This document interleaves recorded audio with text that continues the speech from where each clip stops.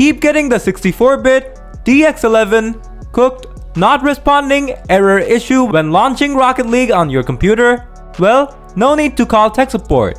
Because in this video, I'll show you some easy fixes for this issue. So let's dive into the solutions without wasting any time. Solution 1.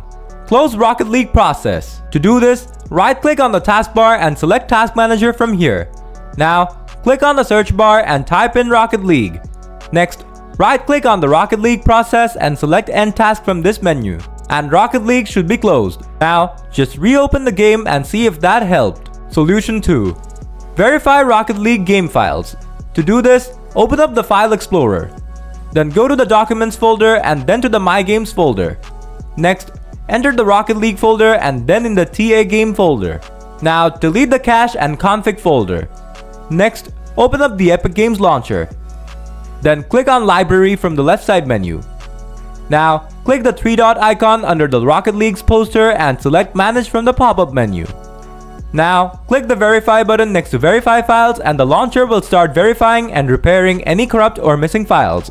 After it's done, check if you can open the game without getting that error. Solution 3.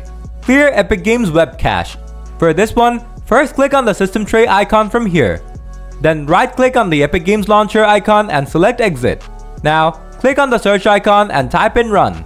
Then click on Run from the search results to open it. Now, in this field, type percentage local app data percentage and hit enter.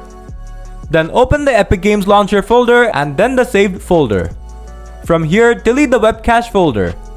Now, restart your computer and after that, the issue should be gone. So that's how you fix the 64-bit DX11 cooked not responding error in Rocket League on PC.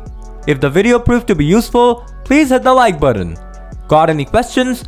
Just leave them in the comments below and I'll get back to you real soon. Thanks for watching.